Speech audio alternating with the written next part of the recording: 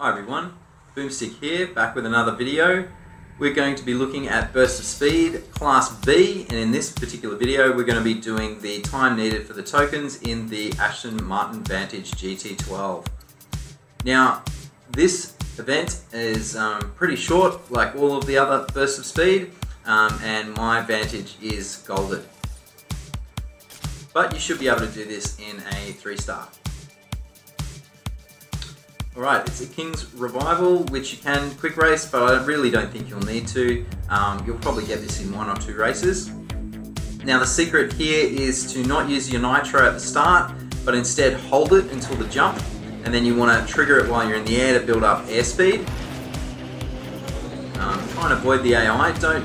You could try and pop him, but I think that might uh, end up with a lower speed, uh, a, a, a, sorry, a higher time. So we barrel roll off that one imperfectly, come straight down here. Now you could go off the jump there, that's one option, but if you just want to conservatively do this, and then you do a big barrel roll here into a shockwave, and straight back into yellow, and then we'll go into imperfect for the end.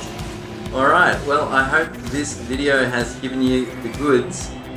We have a time there well under what's required. Um, so uh, yeah, good luck and um, I'll be back with more videos. See you soon.